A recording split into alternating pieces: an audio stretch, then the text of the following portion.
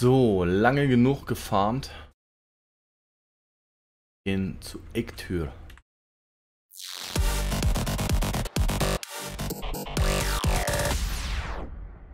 Das heißt, wir holen uns den ersten Boss. Wir probieren es zumindest. Und drin noch ein paar mitnehmen. War da noch einer? Ich habe da noch einen gesehen.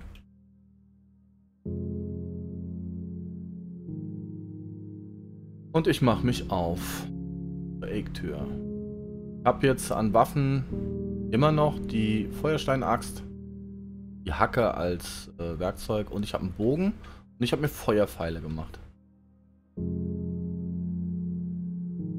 Die habe ich mittlerweile und ich hoffe, dass er damit zu besiegen ist. 57 Feuerpfeile. Ja. Schauen wir mal.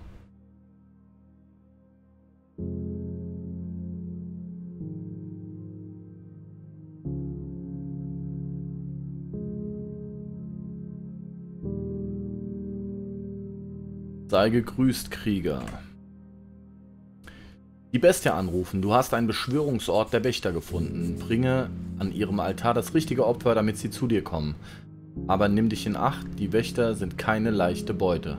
Also stelle zunächst eine mächtige Waffe her, lege deine beste Rüstung an und iss eine herzhafte Mahlzeit, bevor du es auf einen Kampf ankommen lässt.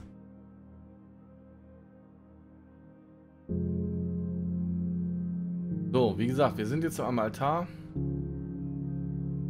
Und hier ist der Runenstein. Jage seine Nachkommen, steht da. Und für alle, die jetzt nicht wissen, was das bedeutet, ich erkläre es jetzt. An der Stelle kommt jetzt ein Spoiler. Also wenn ihr nicht gespoilert werden wollt und es wollt selber rausprobieren, dann macht jetzt äh, einen Sprung im Video bis zur nächsten Zeitmarkierung äh, und dann kriegt ihr es nicht raus. 3, 2, 1. So, also wir brauchen zwei Hirschgeweihe. Äh, ich habe jetzt drei, einen habe ich schon reingelegt. Und danach geht's ab. Ich habe noch 41 Pfeile. Schauen wir mal.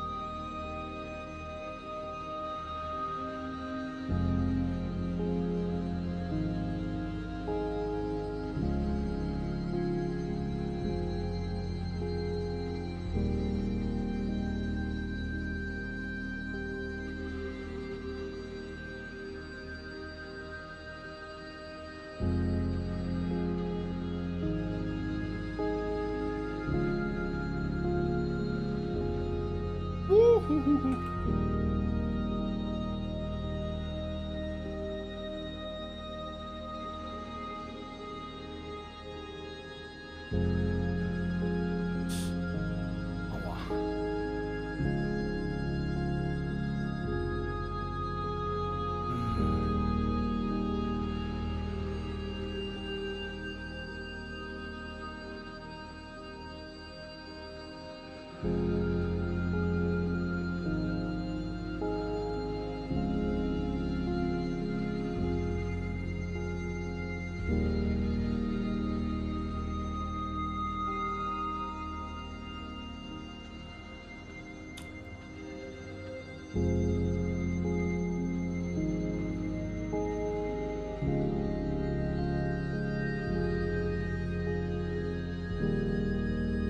Genug Energie.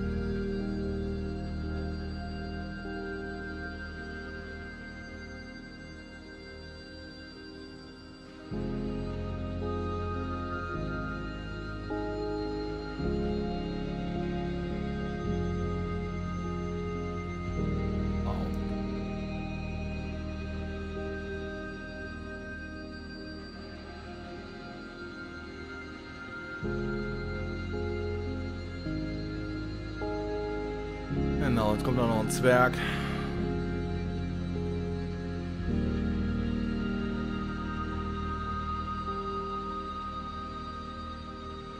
Noch 19 Pfeile.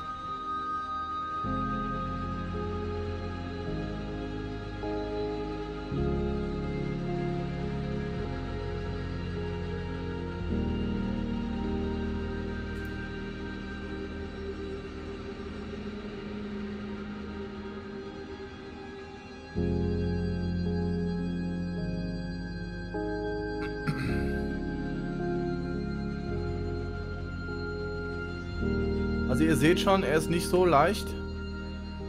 Mein Bogen ist auch gleich kaputt.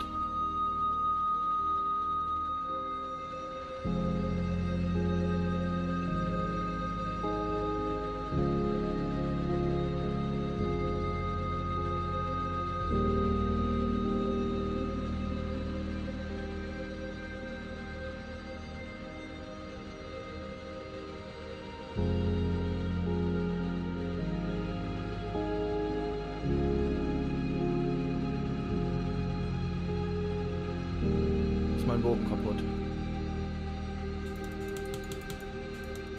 Ich weiß nicht, was er drauf hat.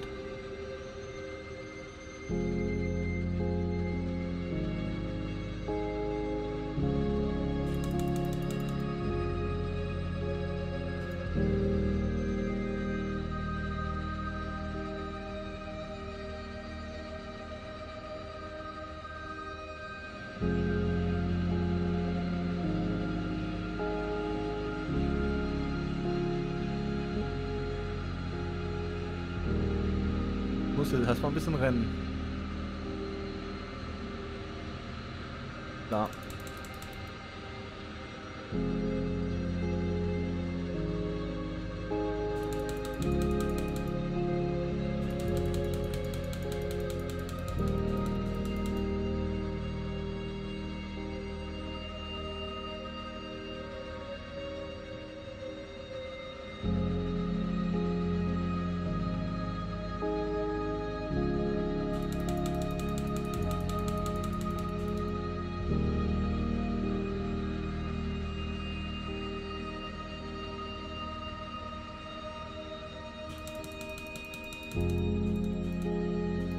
Ich hab ihn.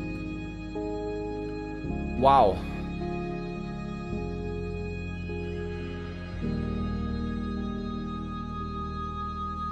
So.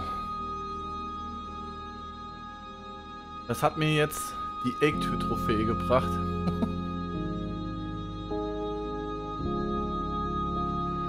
wow. Und, unter anderem. Und Fleisch und, und, und. So, hier ist ein kleiner Freund.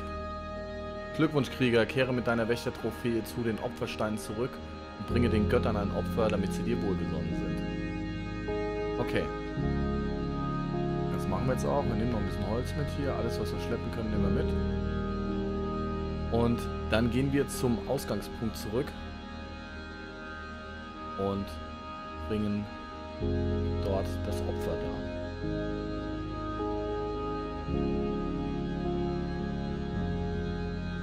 So, wir sind jetzt wieder am Opferstein gleich.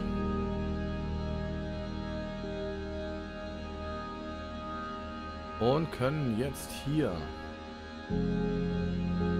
unser Opfer darbringen. Also hier steht, sein Geweih aus Eisen ist kein Witz.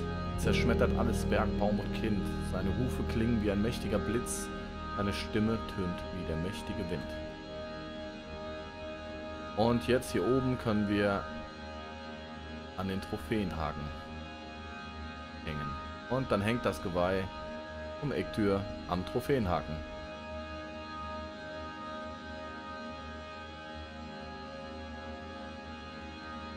Und hier steht auch Ektür, deine Fertigkeiten zu rennen und zu springen sind verbessert. Sprung- und Ausdauerverbrauch minus 60%, Rennen- und Ausdauerverbrauch ebenfalls minus 60%.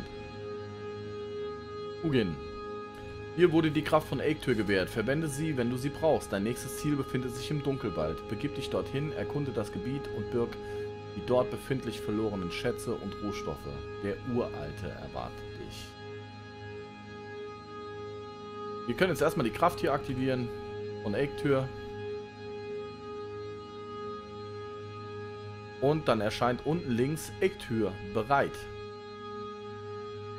Wenn wir jetzt auf der Tastatur F drücken, können wir diese Fähigkeit aktivieren und die ist uns 20 Minuten zu eigen. Das heißt, wir können jetzt 20 Minuten rumlaufen und können schneller rennen und springen, ohne groß Ausdauer zu verbrauchen. Also wir verbrauchen Ausdauer, aber nicht so viel wie vorher. Und das ist schon mal ganz cool. Damit hätten wir den ersten Gegner auch schon besiegt.